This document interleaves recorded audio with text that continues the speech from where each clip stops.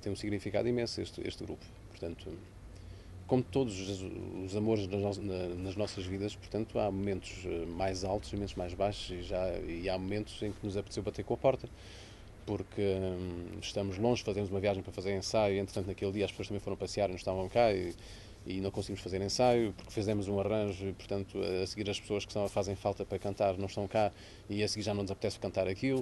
Uh, uh, mas é, é, assim, naturalmente, não é?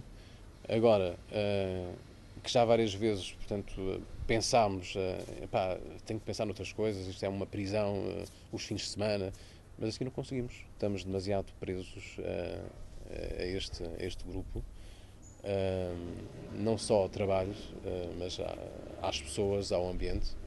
E, portanto, o significado é, um, é, é, é muito, é, é, bastante importante. Portanto, faz parte da, da, minha vida, portanto, conforme eu disse, portanto, fez parte do meu crescimento, não só em termos musicais, mas acima de tudo, considero enquanto homem.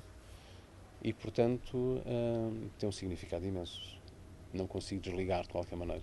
E se um dia o fizer, uh, penso que nunca conseguirei desligar totalmente o grupo é bastante bem aceito. Tanto que uh, nós, fazemos, uh, nós fazemos concertos uh, na cidade, neste caso na casa temos espetáculos no CAEP, e sem grandes preocupações de muita divulgação, portanto a casa está cheia. A casa está sempre cheia, portanto pode não estar a abarrotar, mas são sempre boas casas.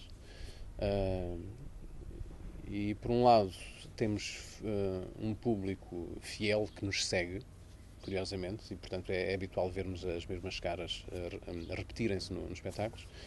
Mas por outro lado, também uh, vemos frequentemente caras novas. Portanto, quer dizer que conseguimos também atrair público novo.